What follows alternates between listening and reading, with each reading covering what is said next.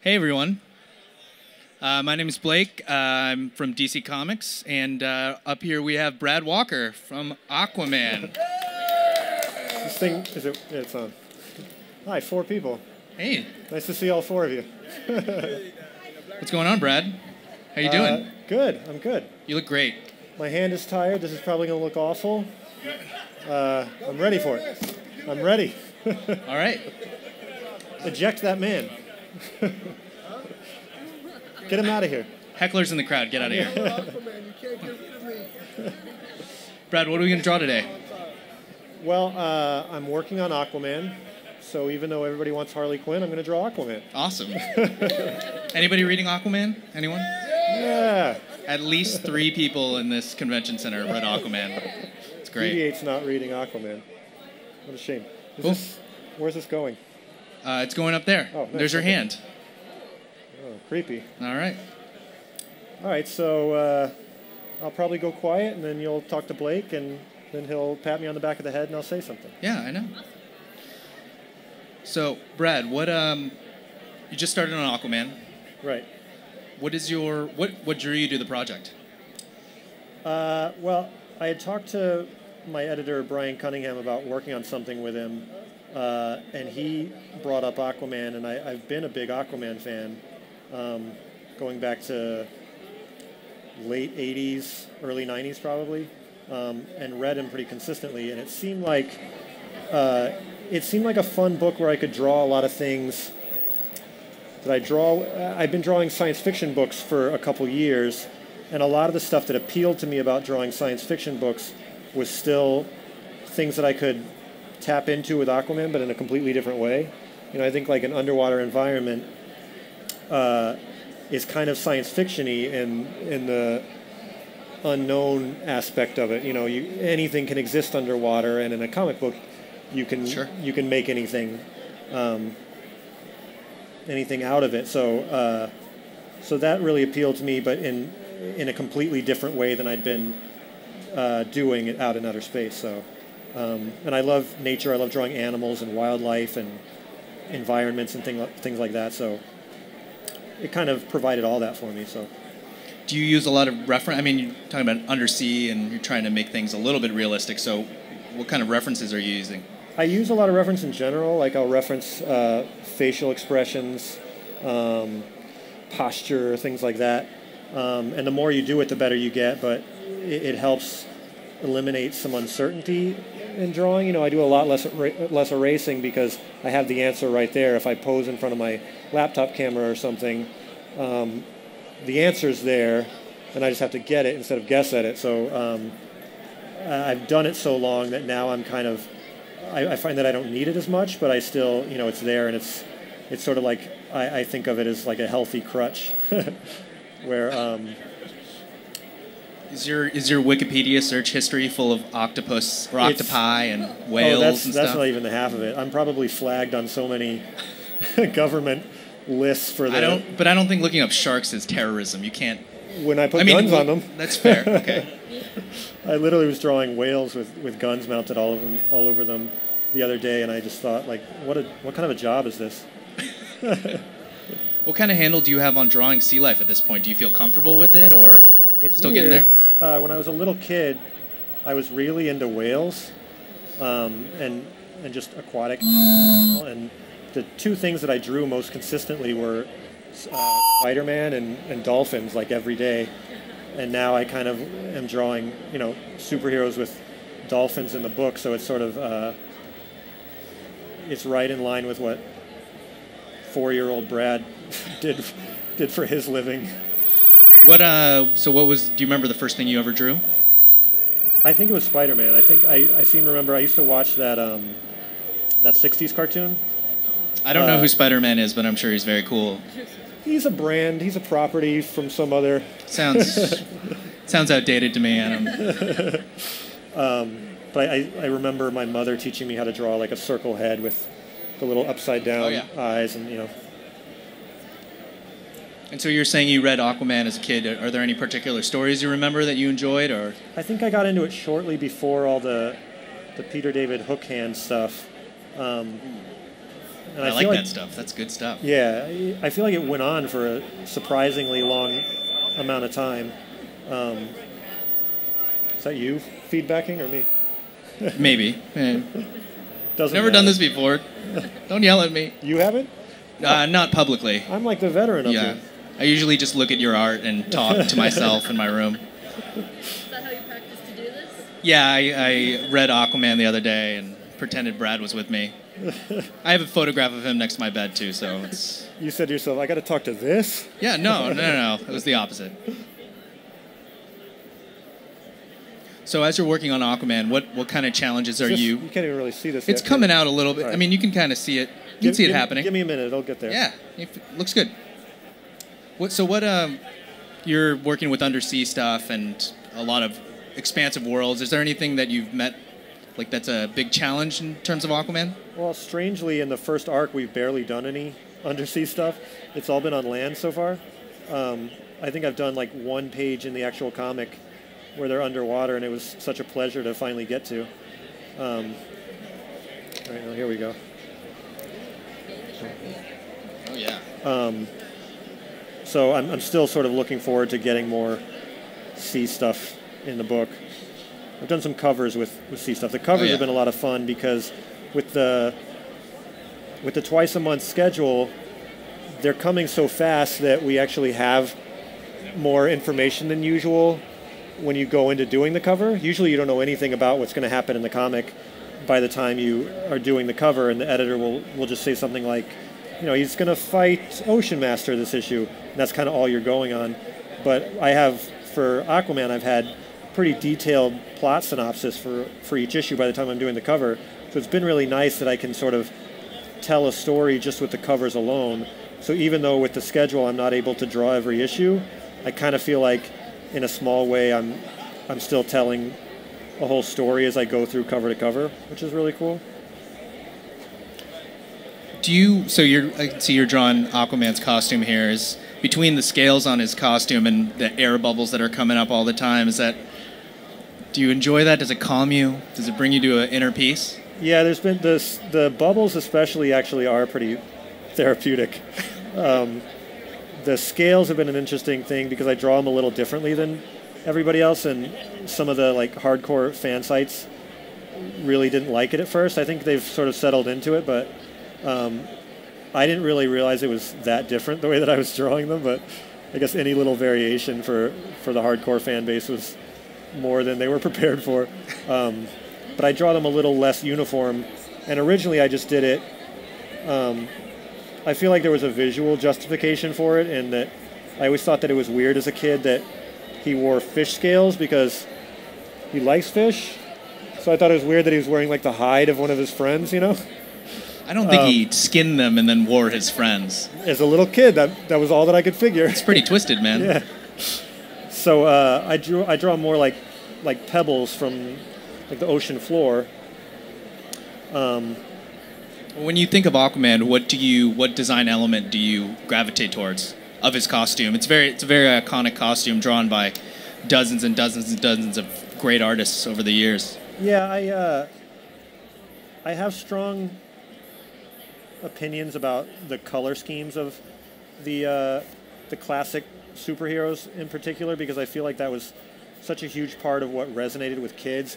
I think we underestimate sometimes how much kids are drawn to color, and you see so much of like in the superhero movies these days. Everybody's sort of wearing black, and there's maybe like Not as like an accent colors, color right? to Yeah. it. And I think we overlook how much kids really like attach themselves to color. And the first thing that any new adult that they meet will ask them is, "What's your favorite color?" And it's kind of drilled into their head. And, and I remember as a kid, the characters that I liked, Superman and Spider Man, they were the colors that I liked. Yeah. So, so I felt really strongly when we uh, were looking at the design of the book that I wanted to keep the classic color scheme because those things really, um, really meant something to me. So I wanted to make sure that he was green and orange. Um, I think they've been drawing it more of a gold lately, and I really wanted it to be like a bright orange. And I talked to Gabe, our colorist. I talked to him about um, really making it like a, a bright, uh, optimistic-looking book um, that would be appealing on the stands and, and next to a lot of like the darker fare that's out there would sort of stand out by being a little more traditional. So um, I think the textures and the color schemes, all those things about the look of him really appeal to me. What's different about the textures in this book from space? Would you say? Do you mean do, are you using a lot of reference with sea life and things like that? Or Yeah, definitely. And and a lot of the what my thinking was when I went into um, when they when they said that we were going to redesign him, my my I was trying to do less is more a lot because I, I don't think a lot of the classic characters need to be redesigned, um, and I don't like redesigns for redesign's sake. So I was trying to do things that were the illusion of something new because there is a part of there's a segment of the audience that really expects redesigns in every every new publishing initiative, um, and so I wanted to serve that part of the audience too. But I wanted to make sure this really looked like classic Aquaman at the same time. Are there any Um, little tweaks that you've put in that that maybe we can't, you know, to the untrained eye we can't see? Yeah, well, the shirt, the like more pebble-looking shirt, shirt came from me. Um, and I, I changed a little bit the way that we draw the fins on his legs and on his sleeves. On the sleeves, it's kind of like a like a shark tooth a little bit, and on the calves, instead of just a triangle like Yeah, the classic yeah, yeah, one, it's kind of like a manta ray fin. So it gives some movement when we have him swimming or moving around. Um, so I just tried to think of like practical reasons like that that an undersea. Uh, hey, more, more people I know. I should bring up guest stars. so many hecklers here. Don't appreciate it. Uh, I tried to think of internal logic that an undersea community would have reasons that things would be certain shapes or certain textures um, when they're not surface dwellers and humans and Americans and things like that. So um, that was where I sort of came up with justification for the um, the fins and the scales and uh, all that, and even like you know the colors make sense. I feel like to him, in the sense that you know so much sea life is really brightly colored and um, it's used for different sort of survival and emotional purposes um, underwater. So it was a lot of fun to to do all that stuff and to talk it out with the creative team, and we still do some of that now. If if we tweak a costume a little bit, uh, we all sort of get on an email chain and talk about it. It's a very the shipping books twice a month now as we're doing has created a real like collaborative group environment, which is kind of fun. What um, what kind of direction is writer Dan Abnett's the writer of this book, and it, which is he's he's such a great guy and a great writer. Yeah. What kind of direction is he giving you in terms of creating this world that many people have thought of, but obviously this is your take? Well, I worked with him on a lot of the outer space stuff. We worked on um, another unnamed property from another company that I'm sure nobody's heard of, but They don't. Uh, I mean, it doesn't matter. Is- these seem like fine, upstanding citizens. We don't need to talk about that. so um, we had a lot of experience in, in like a communicational shorthand in terms of world building and things like that from doing a lot of like outer space uh, world building, which is a lot more intense. And um, Atlantis was sort of laid out, at least in um, human myth, a little bit. Um, so it hasn't been discussed as much, and a lot of stuff comes up as we go along. Like, well, what what are their um, what are their ships going to look like? You know, their underwater craft, and when they get to land, will they be able to fly and things like that? And, and so, how would they? How do they do that? Um, and we kind of discuss it. it. It all sort of starts with Dan, and, and Dan is good about. He'll give me. He'll say kind of like, "I'm thinking something like this, but if you have ideas, go with that." Um, so he sort of gets my jogs my memory, my creativity a little bit, and then uh, I sort of move from there, which is nice and, and just a real comfortable way to work. And then because we have a couple different artists all working on the book at the same time, they start to weigh in with their sensibilities, and it's kind of a fun process. The, the design stuff has all been a lot of the most fun things in, in the series. Yeah, it seems like such a collaborative process now. There's so many. We're double shipping books, so obviously things are coming fast and furious. And do you find your creative process changed by having other artists on there, or Yeah, I've actually seen some of the ways that they work just in terms of how they how they approach the workload. The part of comics that nobody ever talks about is the soul crushing, constant workload that that it has. Um, and Called deadlines, Brad, and they're very important. And I, I mean, love nobody ever told me they were important until I got on this book, and then suddenly everybody's all over me about it. But you know, it's one of those things. We all work at home, so you don't see how other people work or what other people are doing. Um, and then this is as close as you get is when you're all turning in Right. pages Yeah. from a book at the same time, and you see a little bit what people are up to and how they're handling things like that. So it's been interesting and given me ideas about how to tweak my work process to be faster or more efficient or so I'm implementing some of those things as we speak and seeing how that how that goes and it's all like a trial and error and it's all very individual what works best for one person doesn't work for another and so This is what you're drawing right now is reminding me how how much focus do you have on making sure that Aquaman's hair looks amazing? uh, Because I it do- looks fantastic right now. I do enjoy hair a lot because there's so much, there's so many storytelling things that you can do with hair. You can suggest so much movement and mood of the character and things like that. The characters are right out here. He is. This guy has great hair too. Let's just bring him up. Looks great shirtless. Good job. talk- All right. Just talk to him and his wife. Yeah. Fi- fiance, excuse me. Yeah, get it right, man. um, So yeah, and then especially with Aquaman, when you're underwater, then it's it's really like waving around and moving, and Mera's is such a big focus too. So, um, yeah, the hair's been a lot of fun, and then Gabe colors it intensely and, and is like right on the same page with the hair. So, uh, it's definitely been something that we hear about in a lot of the comments. Is like, man, Aquaman really stepped up his hair game. You have. It's beautiful hair. It's very important to me. As a man with beautiful hair myself, it's very important. Yeah, I can tell by your silence that you're obviously in agreement.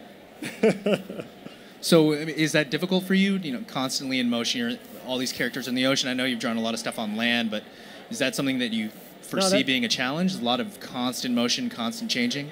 Uh, I think that's stuff that I tend to do anyway. Uh, I've had people say that my hair always looks really flowing anyway. So uh, I'll post on social media, I'll post cropped sneak peeks of a cover or something with a, with a face, and people will comment that uh, something about it being underwater, and, and I'll have to reply and say, well, These aren't underwater, that's just the way that I do hair. So you were natural for this book. I'm just, uh, everything's in motion, everything's moving along. Hair should always be in motion, Yeah. unless you don't have any, and then Yeah. you know that's just bad genetics. Can't help it. So you've done a lot of books in space, and now you're doing a book underwater. Is there any? Do you find yourself preferring one over the other, or Uh, I'm definitely I I done so much in space, like uh, probably like six years worth. man? I mean that's a long time to do that seven days a week, you know. So uh, I was maybe a little burned out on lanterns and cosmic guys and uh, just that style of the grind. So this has really been um, Is there anything you're looking Really forward nice to to drawing in the Aquaman world?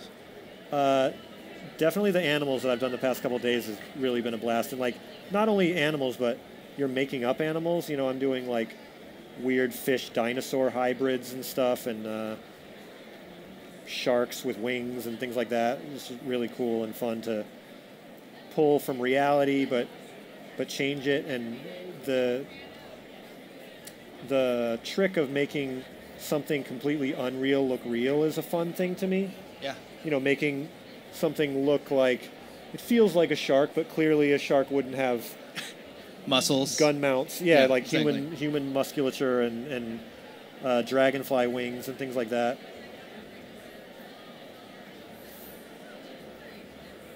Yeah. It looks awesome.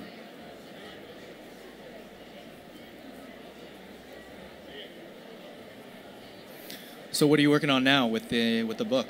What issue what issue are you working on? Uh, I, I'm just finishing six, uh, and then I, I don't know. I need to talk to them this weekend about what one I'm moving to next. There's a lot of hopscotching with the schedule because you're drawing. You know, two to three artists are working on issues at the same time. So, uh, you know, comics have kind of become that anyway. So at least you're getting more of them with that at this point. Oh yeah, it seems kind of it seems like such a tricky thing to have guys working on things concurrently.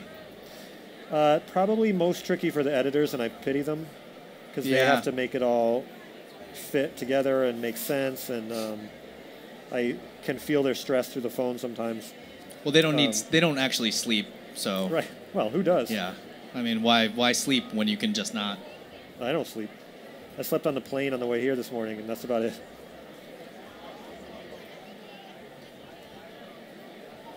Yeah, you should do a whole panel up here about when. Uh, should have several artists come up and talk about lack of sleep. I'm pretty sure nobody would be able to give a cognizant sentence if that's the case. The level of detail here is just unbelievable. I mean, have you? Were there artists that influenced you as a kid that had the same level of detail as you?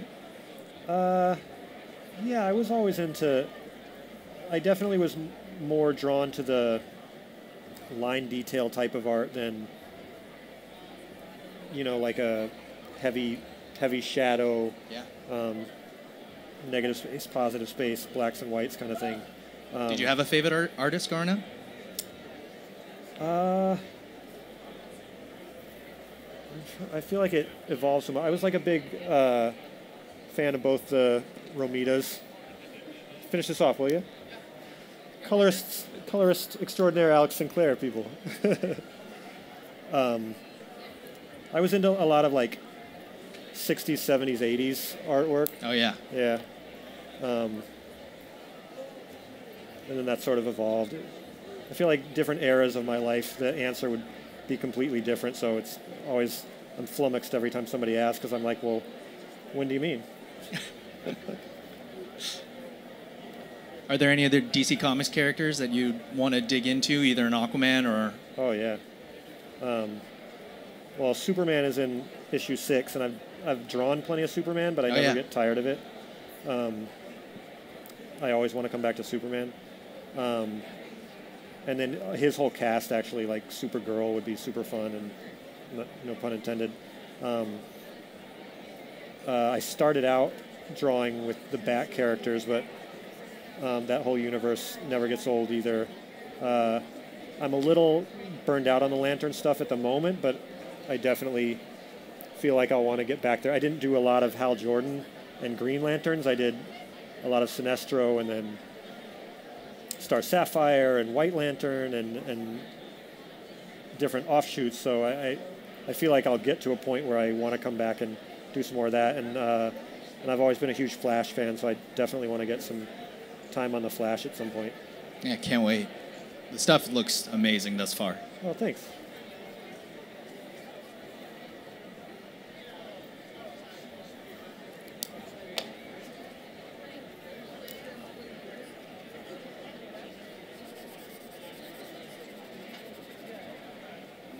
Are you inking your own stuff, or are other people? No. Uh, I'm not great with it. I can sort of like fumble my way through at conventions and do it. Um, but my inker is a guy named Andrew Hennessy, and he's really masterful. Um, and we're really sort of mind meld in sync in terms of what we want to have a book look like when we come onto it. So I just hold on tight to him and don't let go. Yeah. Yeah, we uh, when we started the lantern stuff, we got on the phone and we were like, both of us were kind of saying some influences of outer space environments and what we wanted to approach it like, and it was just exactly the same thing. And then um, we kind of did the same thing going into Aquaman and uh, just had the same. What appeals about art to both of us is exactly the same, and I feel like when you work with somebody like that, you you know, it, it would be a shame to walk away from that. Don't deprive them of work. Let them work. Let a man work. What's that? Let him work. Yeah. Even watching you do these bubbles is so soothing. Can I hire you to do this? Really, I feel Stressed out? stressed. Looks beautiful. Awesome. Thanks. Love it.